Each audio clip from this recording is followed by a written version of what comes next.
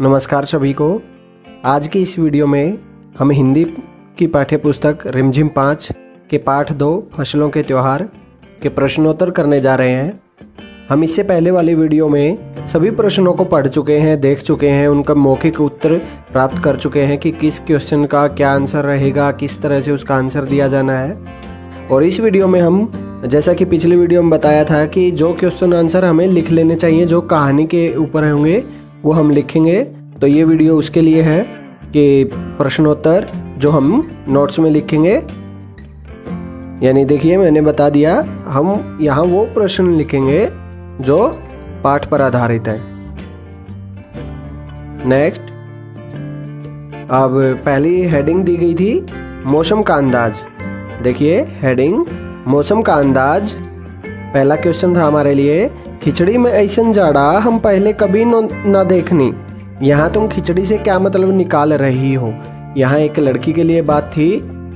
लेकिन अगर एक लड़की, मैं यहाँ पर यह मतलब निकाल रही हूँ तो लड़की लिखेगी, मैं यहाँ पर यह मतलब निकाल रहा हूँ। तो लड़का लिखेगा, उसी की बजाय हमें एक कॉमन सेंटेंस बना लेते हैं। उत्तर होगा, उत्तर लिखी गई इस बात के आधार पर, ऊपर लिखी गई बात के आधार पर खिचड़ी का मतलब क्या होगा? मकर संक्रांति से है। तो ऊपर लिखी गई बात के आधार पर खिचड़ी का मतलब मकर संक्रांति से है। नेक्स्ट क्वेश्चन क्या कभी ऐसा हो सकता है कि सूरज बिल्कुल ही ना निकले? अगर ऐसा हो तो हो तो मतलब हाँ ऐसा होगा। तो आंसर में भी हमें ऐसे ही देना है हाँ ऐसा हो सकता है कि सूर्य दिखाई ही ना दे। और सूर्य कब दिखाई नहीं देता? और ऐसा तब होता है कब होता है? जब। ये युग्म हो गया, तब जब। जब बहुत ठंड के समय चारों ओर कोहरा छाया हो, फोग हो, समोग हो।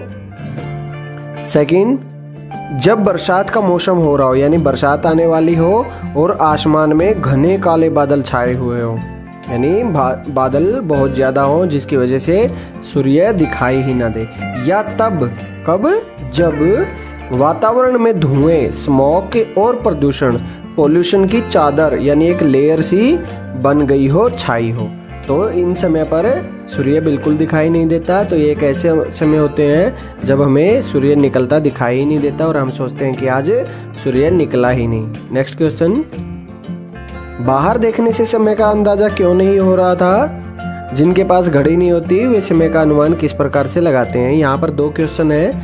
देखिए बाहर देखने से समय का अंदाज़ा क्यों नहीं हो रहा था या हो पा रहा था? अब पहले का देखते हैं। बाहर देखने से समय का पता इसलिए नहीं चल रहा था क्योंकि बाहर ठंड बहुत ज़्यादा थी। और ठंड में क्या था? फोग हो गया था, ठंड हो गई थी, लोग घर से बाहर नहीं निकल रहे थे। और धीरे धीरे जैसे वो सूरज की गर्मी होती, उस समय पर वो उठते, घर से बाहर निकलते, काम करते। वह अभी तक धूप भी नहीं निकली थी।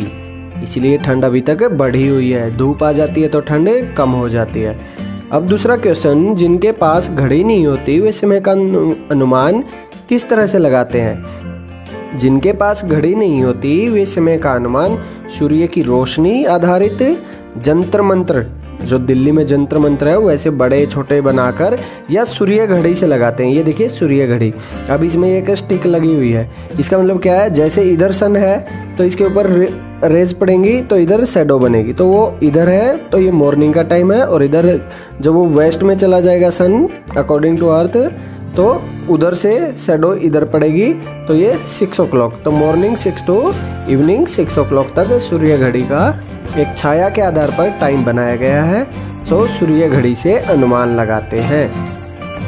नेक्स्ट टिल यानी अन्न के बारे में, अनाजों के बारे में तो फ़सल के त्योहार पर तिल का बहुत महत्व होता है, पाठ में पढ़ा हमने।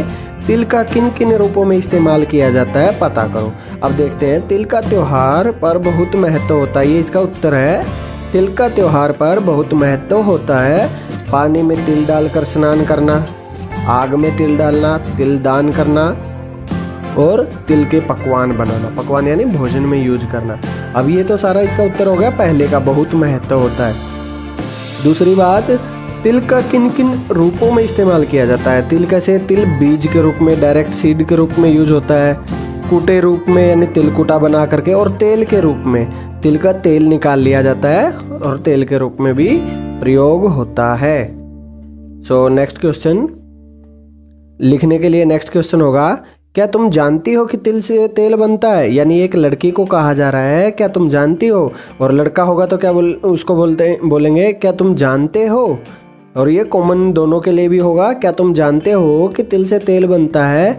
और किन चीज़ों से तेल बनता है और कैसे बनता है? हो सके तो तेल की दुकान में जाकर पूछो। अब देखो, उत्तर में हाँ मैं जानता हूँ। फॉर बॉयज़ मैं जानती हूँ फॉर गर्ल्स या हम जानते हैं कॉमन कि तिल का तेल निकालते हैं। मशीन की सहायता से निकालते हैं या कूट के उसको प्रेशराइज करके निकालते हैं, बल्कि तिल के साथ साथ कई चीज़ों से तेल निकाला जाता है। और किन चीज़ों से तेल बनता है? कई चीज़ों से निकाला जाता है और वो नाम इधर है। नंबर एक, सरसों। नंबर दो नारियल, नंबर तीन आंवला, नंबर चार मूंगफली, नंबर पाँच बादाम, नंबर छः फल, फूल और नंबर सात विभिन्न वनस्पतियों से तेल निकालते हैं वेजिटेशन ऑयल सफोला वगैरह।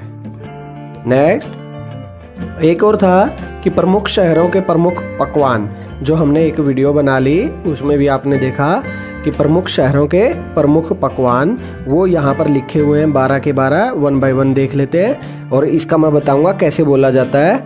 मथुरा का पेड़ा का पेड़ा मस्कुलिन यानी पुलिंग शब्द, पेड़ा। आगरा का पेठा, हैदराबाद की दम बिरयानी, की दम बिरयानी, ना कि हैदराबाद का दम बिरयानी नहीं, हैदराबाद की दम बिरयानी, मैसूर का मैसूर पाक, अमृतसर के नान छोले के मतलब बहुवचन के नान और छोले व मक्के की रोटी सरसों का साग। साग मतलब सागू सब्ज़ी। कलकत्ता के रसगुल्ले, मुंबई का वड़ा पाव, बीकानेर की भुजिया और नमकीन, नई दिल्ली के छोले भटूरे, चेन्नई का मसाला डोसा, जयपुर का दाल बाटी चूरमा और पटना का लिट्टी चोखा। तो ये थे प्रमुख शहरों के प्रमुख पकवान। और इस तरह से जो जो क्वेश्चन हमें लिख लेने थे उन सभी के आंसर्स सो so, अब मैं इसके बारे में बताना चाहूँगा कि आप ज़्यादा से ज़्यादा लोगों को सब्सक्राइब करने को कहें चैनल को ताकि आपकी तरह वो भी लोग इस चैनल का फ़ायदा उठा पाए। और ज़्यादा से ज़्यादा आगे आने वाली जो कॉमन वीडियोस होंगी जो एक क्लास के बेस पे नहीं होंगी सबके लिए होंगी तो उस तरह का सबको फ़ायदा मिले। और आप ज़्यादा से ज़्यादा देखेंगे तो हमें भी वीडियो डालने में मज़ा आएगा उत्साह रहेगा। सो so, चैनल को भी लाइक कीजिए सब्सक्राइब कीजिए और वीडियो को ज़्यादा से ज़्यादा शेयर कीजिए।